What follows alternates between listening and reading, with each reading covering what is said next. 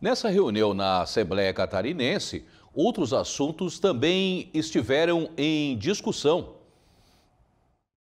Na reunião da Comissão de Turismo da Assembleia Catarinense, os deputados integrantes da comissão aprovaram o requerimento do presidente, deputado Marquito, para a realização de 12 seminários que deverão percorrer todas as regiões do estado.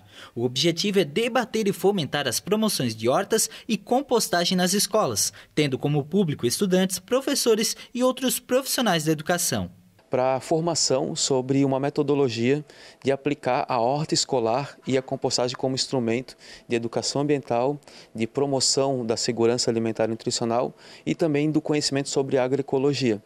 A gente entende que existem é, metodologias consolidadas de aplicação desse trabalho de horta escolar e compostagem nas unidades escolares que podem trazer muito mais humanidade, relação ambiental com as crianças. Então a nossa ideia é fazer no final do ano entre outubro e novembro, para que os professores, educadores, é, secretários que passarem conseguir absorver esse conhecimento, construir esse conhecimento, para no próximo ano letivo aplicar nas suas unidades escolares. Né? A comissão também aprovou outro requerimento do deputado Marquito para a realização de mais 12 seminários em todo o estado, com o objetivo de fomentar a transição ecológica, especialmente a promoção da agroecologia para a risicultura. É, a gente focou na risicultura, que é a produção de arroz, porque hoje tem um problema gravíssimo acontecendo na produção de arroz, especialmente do sul do estado, onde a contaminação é, dos fertilizantes químicos sintéticos e dos agrotóxicos tem é, trazido consequências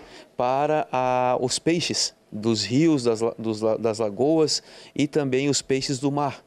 Então, eles têm identificado a mortandade da vida aquática por conta do modelo de arroz que é por imersão né, e submersão é, de arroz irrigado, que a gente chama, e que a nossa estratégia com esses 12 seminários é discutir a transição agroecológica, dando enfoque na risicultura, mas algumas regiões que não são produtoras de arroz, é, teremos enfoques em outros tipos de produção é, agrícola. Né? O deputado Marquito conseguiu ainda a aprovação de requerimentos para a realização de outros três eventos. Uma reunião ampliada para discutir o cenário de ações do homem que impactam a Lagoa do Sombrio, no município de Santa Rosa do Sul, e a Lagoa do Caverá, em Araranguá.